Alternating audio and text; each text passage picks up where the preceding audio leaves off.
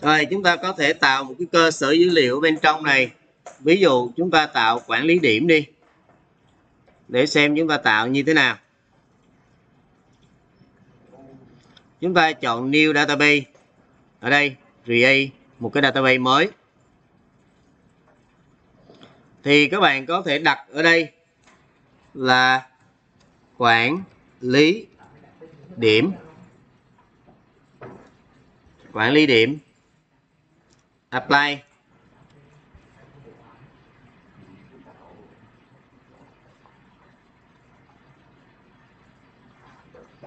Trong cái quản lý điểm thì nó có một cái câu lệnh là create quản lý điểm ở đây. Ha create schema quản lý điểm. Nếu cần thì các bạn copy cái này ra.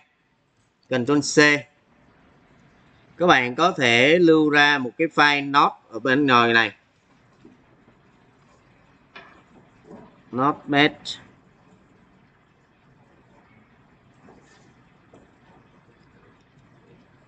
Tiếp tục. Chúng ta lưu cái này lại. Document. Quản lý. Điểm. Chấm sql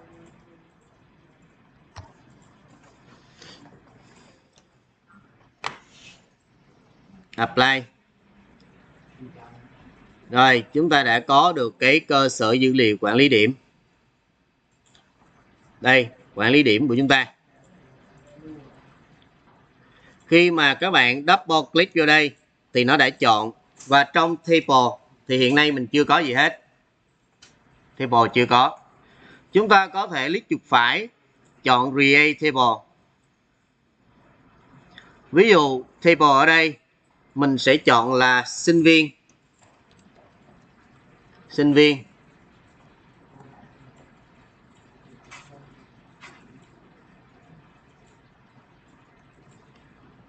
Table của mình là sinh viên.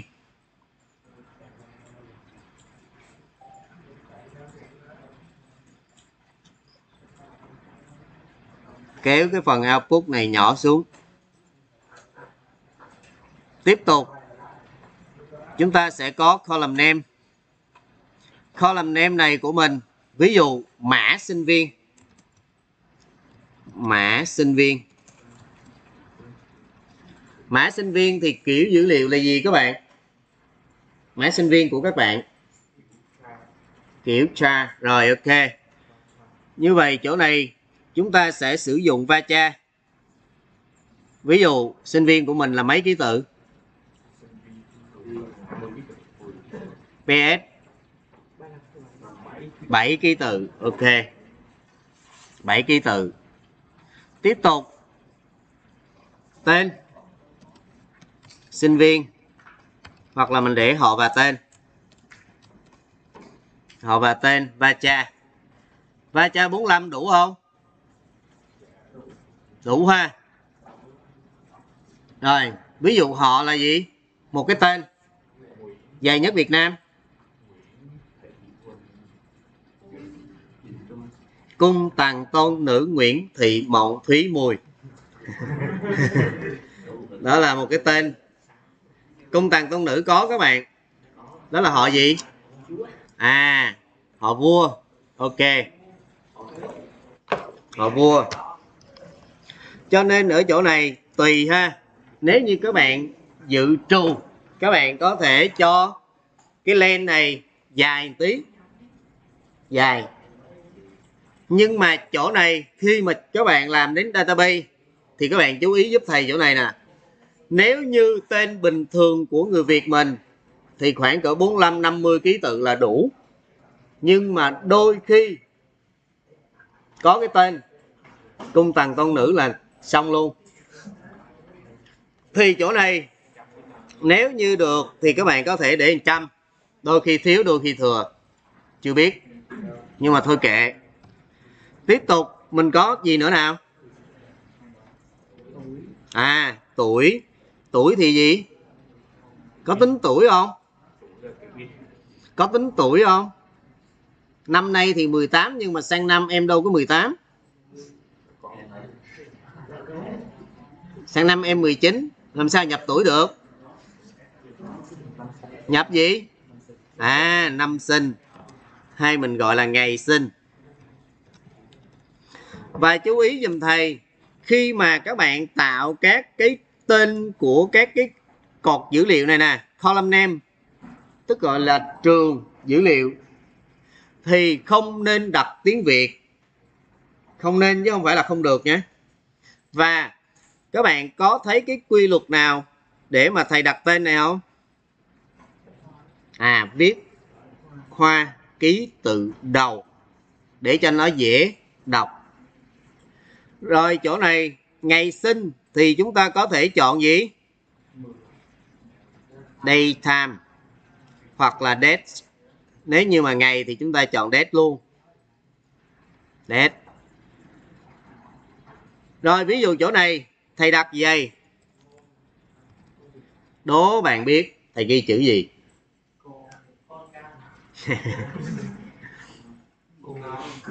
Đấy một chữ mà các bạn có thể có nhiều đáp án. Thì làm cho chúng ta rất khó để phân biệt được đây là cái gì. Nếu như mà các bạn viết hoa, giả sử các bạn viết giày. À đúng được liền, đúng không? Hoặc là giày. Cũng vậy. Được chưa?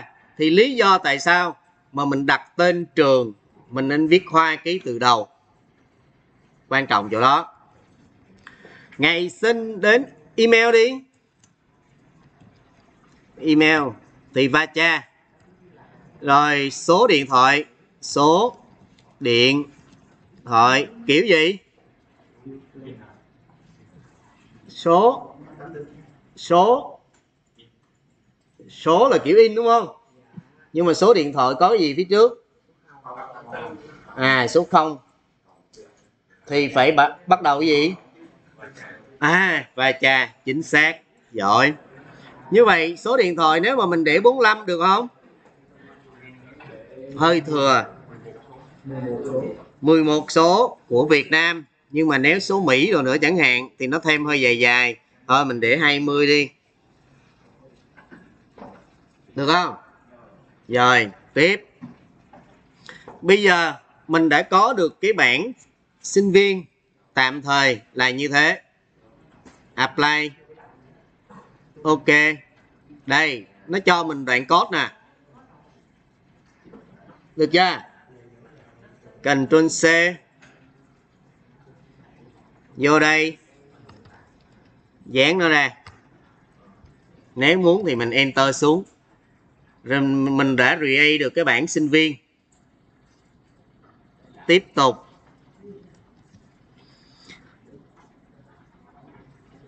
Mình sẽ có một cái bảng nữa. Nếu mà sinh viên thì mình sẽ có gì? Nếu như mình quản lý điểm thì mình có. À, lớp cũng được. Hoặc là mình đơn giản nhất là môn học đi. À môn học ha. Mình sẽ tạo ra một cái bảng là môn học rồi bắt đầu giờ bắt đầu à, ổn rồi đó. Mình sẽ có mã môn học kiểu dữ liệu. À tùy mình nhưng mà mình nên để va cha. Va cha ha.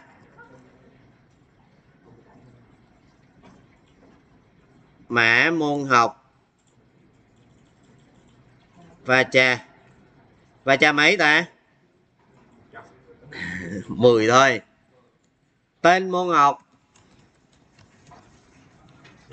rồi va cha 45 ví dụ như là môn học này, nó sẽ có tính chỉ, hoặc là số số giờ, hoặc là số tiết tùy. Ví dụ, mình để là số tính chỉ. Số tính chỉ này thì mình để in đi. In. Rồi xong. Ở đây mã môn học mình thấy nó có cái gì khác biệt so với tên và số tín chỉ? Có cái gì đấy? Có cái chìa khóa. Và bên này nó để là primary key. N n là gì ta? Ồ oh, hay quá. Not null à không được trống, giỏi quá. Ok, tí nữa điểm cộng. Đơn giản ha. Rồi, apply. Thêm. Một cái code nữa. Dán nó vô đây. Enter xuống. Lưu lại. Apply. Finish.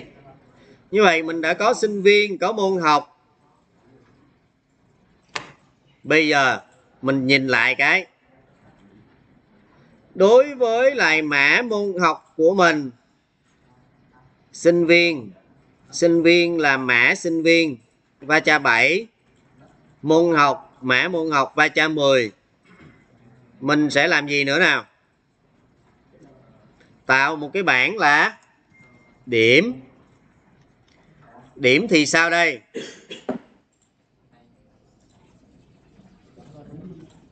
Ứng với một sinh viên, ứng với một môn học, sẽ có một điểm. Như vậy, chỗ này mình có mã sinh viên. Và cha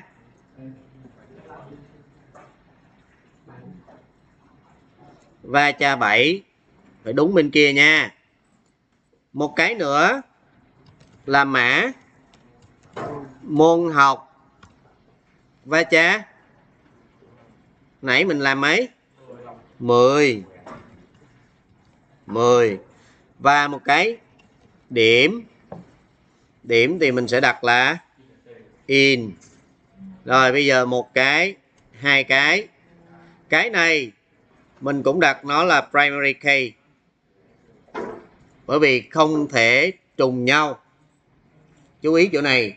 Với bảng điểm thì một sinh viên ứng với một môn học chỉ có một điểm duy nhất.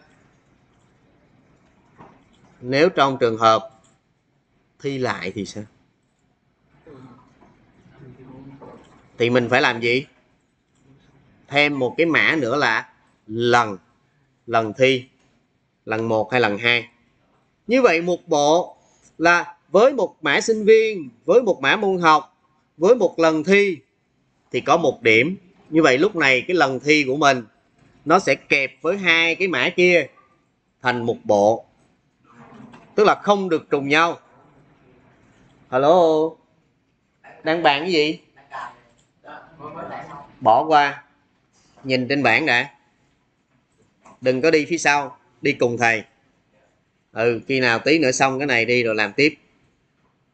Như vậy, khi mà chúng ta có cái bảng điểm này nè, tại sao chúng ta phải xét cái tại sao chúng ta phải xét cái điểm của chúng ta? Là sinh viên và môn học là hai cái cùng đều là khóa. Bởi vì chúng ta muốn một cặp là không được trùng. Mã sinh viên thì có quyền trùng lại. Nếu như các bạn không đặt cái này là khóa, thì sinh viên này chỉ nhập được một lần duy nhất với một môn học bất kỳ. Nhập môn thứ hai thì nó thấy mã sinh viên trùng. Nó sẽ báo là trùng bởi vì nó là primary key mà. Được không? Nhưng trong bảng này với sinh viên A có thể có điểm môn 1, môn 2, môn 3 cho nên cái mã môn học chúng ta cũng phải đặt là khóa luôn. Được không? Đó. Chúng ta apply. Ok lại có thêm một đoạn code nữa. Chúng ta đã tạo được ba cái bảng. Rồi, apply. Chúng ta có được ba cái bảng. Bây giờ, ở bên này, chúng ta đang có quản lý bán hàng. Chứ chúng ta chưa có cái diagram cho cái mới tạo quản lý điểm của chúng ta. Nhấn vô đây. Thì nó sẽ hỏi là bạn muốn tạo diagram cho cái nào? Ở đây chúng ta chưa thấy, đúng không? Thì quay trở lại, chúng ta có thể tạo diagram từ trên data. Từ trên này, quản lý điểm của chúng ta. Data chúng ta chọn cái trào net admin 1234 net. Và bây giờ chúng ta chọn quản lý điểm, không chọn quản lý bán hàng nữa. Quản lý điểm thôi. Net.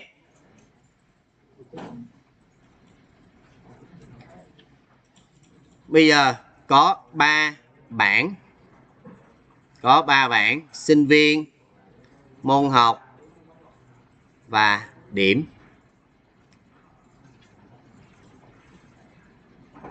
Sinh viên, môn học và điểm. Mã sinh viên.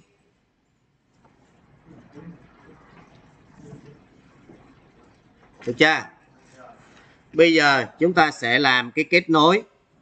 Kết nối theo các bạn giữa sinh viên và môn học à, và điểm kết nối với nhau bằng quan hệ gì?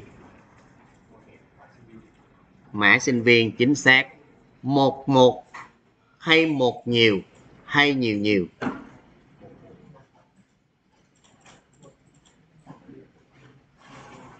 Hello? Đang làm gì? Cất cái điện thoại đi. Ở trên này nhất chữ nhất đầu của các bạn, thầy đều biết. Nhưng mà làm gì cụ thể thì không biết. Nhưng mà ánh mắt của các bạn có để về thầy hay không là thầy biết. Ghê không?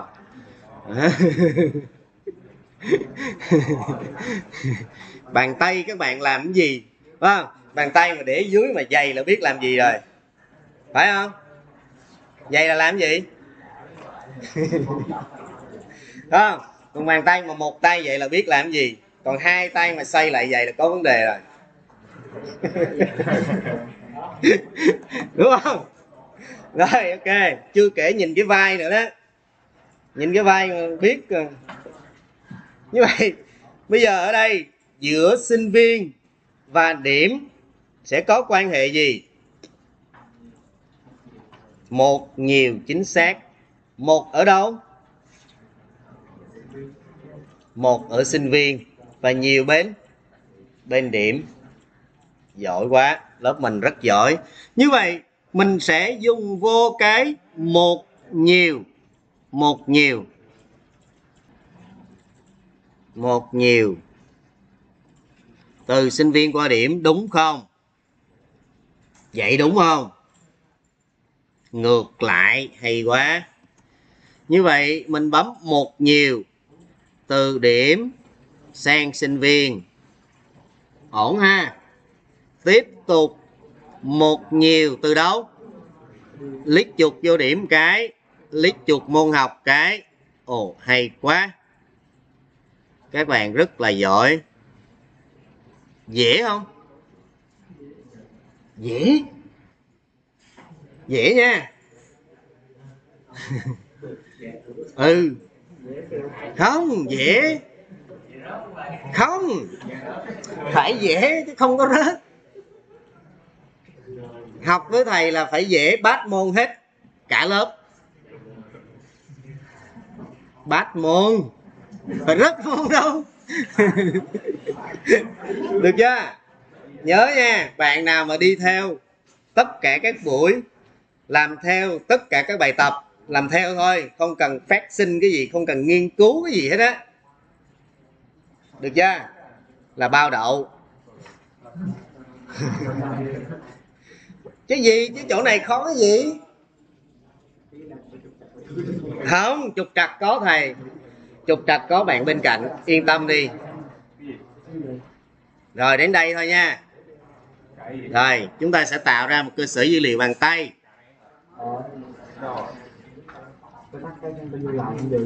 rồi, chúng ta đang tạo một cái cơ sở dữ liệu bằng tay.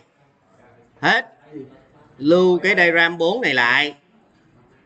Đây, chúng ta đã có diagram 4 nè.